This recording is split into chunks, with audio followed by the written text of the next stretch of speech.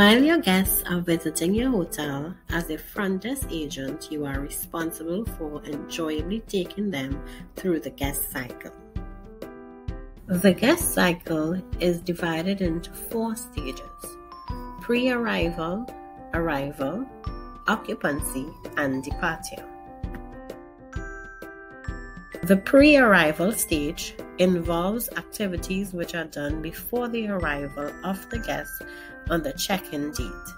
These include the guest choosing your hotel and making a reservation.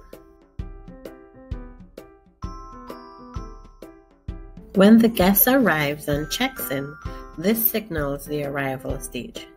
This stage includes registration and the process of room assignment.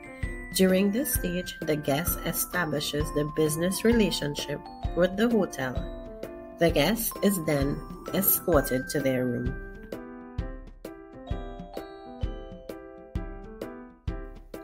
Once the guest checks into their room, the occupancy stage of the guest cycle rolls in. The occupancy stage occurs during the stay at the hotel.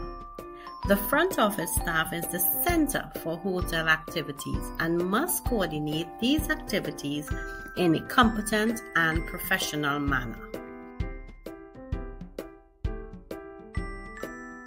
At departure, sadly, the guest vacates the room, settles their accounts, returns the room key, and leaves the hotel. Created using Powtoon.